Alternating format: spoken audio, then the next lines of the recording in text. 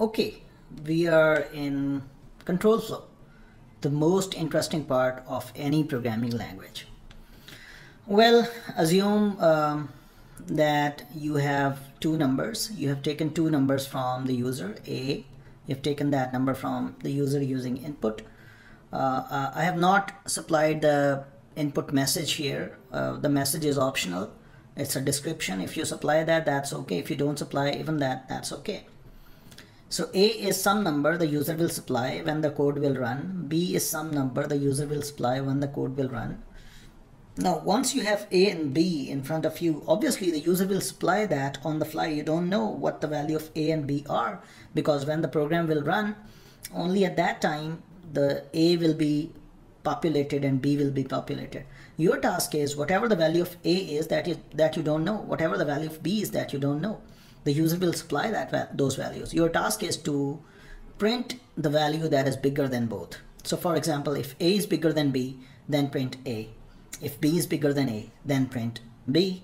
So whatever the bigger value is, print that value. Let's say that's your task. How can you do that?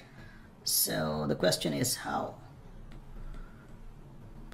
Does Python allows us, does Python allow us to do that? Um, for example, if a is bigger, then we should print a. If b is bigger, then we should print b. Remember again and again we are we are talking in terms of if A is bigger. If so this is this is this is what if A is larger than B then this condition will be true. This is like the comparison. So this is true. But then we must have an if condition as well. Uh, if A is bigger then do what? So if A is bigger than B then do certain things. Otherwise don't do that those kind of things.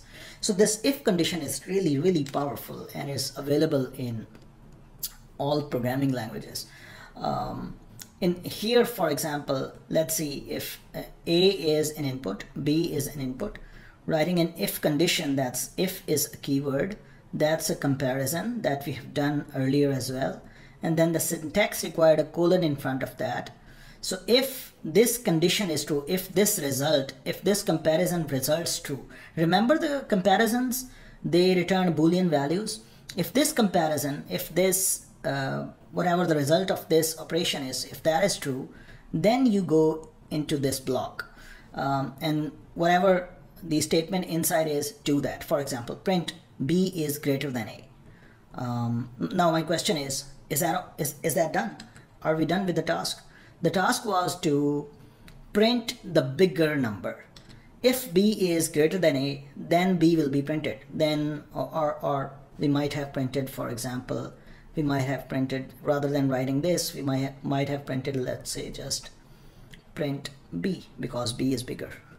Um, if b is not bigger than a, what will what we will do then? So, yeah if b is bigger than a then b will be printed. Yes because then you will be inside here. If b is not bigger than a if this condition is false we will do what then? So that's a question. So right now I'm just coding this in Jupyter notebook and then we will see how can we deal with that if b is not bigger than a kind of condition. So let's first see the blessings of if condition in Jupyter notebook. Uh, yeah. So let's say a is an integer. Let's say you're expecting an integer input input let's say. And then you write if well, let's say b is again an integer input maybe. And let's say if a is greater than b then print a. That's it. That's your program Remember um, this indentation. I have not written this print here. This is the indentation that defines the block of A. Let's say if I want to print A, then I want to print, let's say, I am still inside if condition. Condition. And so whatever that starts from this, whatever that starts from, whatever that starts from uh, this alignment if I write something here, let's say uh, x is equal to 5, all that block, all that block is called the body of the if condition if it starts from this alignment. If, however, I, I type a statement, but I type that statement in that kind of alignment, the alignment like this, this is no longer inside the if condition. So for example, here I type, I am outside the if condition. So the purpose of writing these multiple lines is just if condition does not require to contain only one line of code. It can contain um, a whole block of code, multiple lines of codes. So this is no longer inside the if condition. So now we will take input A, input B, whatever the numbers will be. If the value in A will be larger than B, then this will be printed and this will be printed. Once these two are printed, then this has to be printed regardless of the values of A and B because this does not, this last print statement, it does not depend upon, this does not depend upon the values of A and B. It has, the if condition has no impact on that. That is just a sequence of statements. The if condition, the statement inside the if are just these two. For example, if A is not bigger than B, then neither this will execute nor this will execute but this will still execute because this is this has nothing to do with if condition so let's run this code and see uh, how it works so let's say the value of a see the power of descriptions if we could have written a description then the description could have been uh, could have appeared here but let's say this is the value of a let's say 12 the value of b let's say um, let's say 10 in this particular case uh, because the value of b is 10, the value of a is 12, 12 is bigger than b if this condition is true, this statement becomes true. Whenever this condition becomes true, you are inside the prints, you are inside the if condition. Now this print executes and you you get 12. This print executes and you get um, I am still inside the if condition and this has to execute no matter what the values of a and b are. So now let me rerun this and give other values of a and b. Let's say the value of a is 10 and the value of b is let's say 45. Now this, condi this condition becomes false because uh, 10 is greater than 45. This is not true, this is false. So whenever this condition is false, you never land inside the if condition and you go out from the if condition. So these are the statements that are inside the if condition. They cannot execute because, because you never visit them. They can only be executed if the if condition becomes true. So then once you're out the if condition, that's the statement that is going to be executed anyways.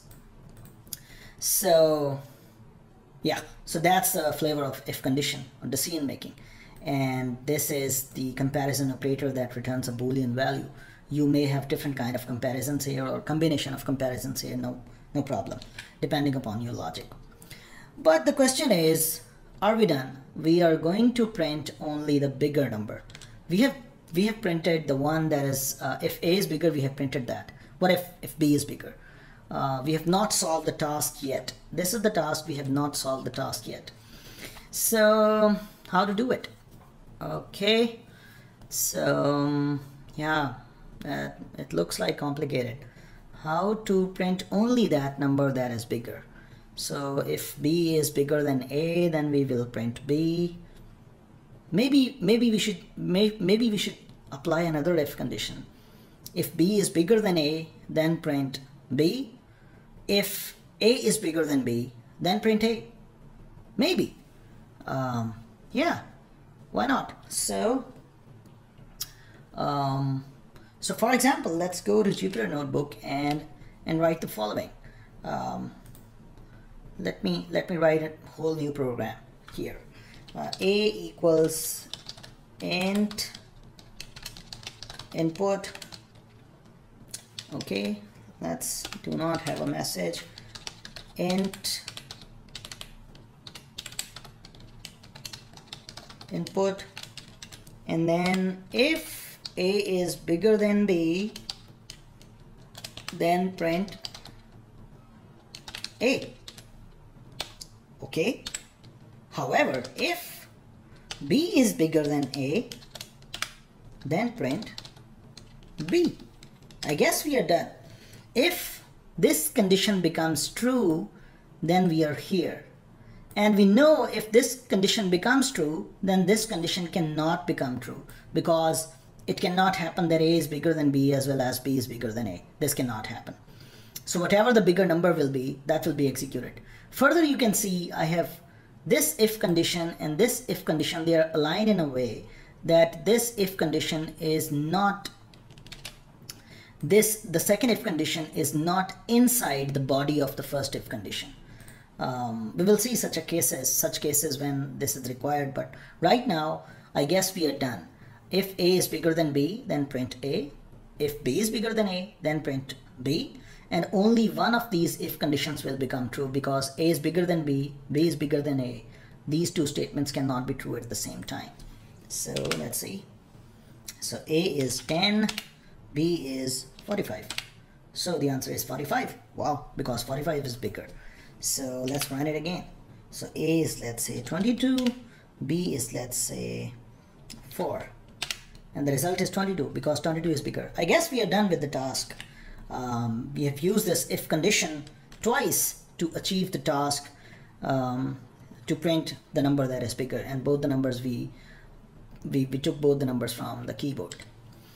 Um, yeah I end this video here and in the next video I will tell you more uh, features of this if condition, particularly the else statement.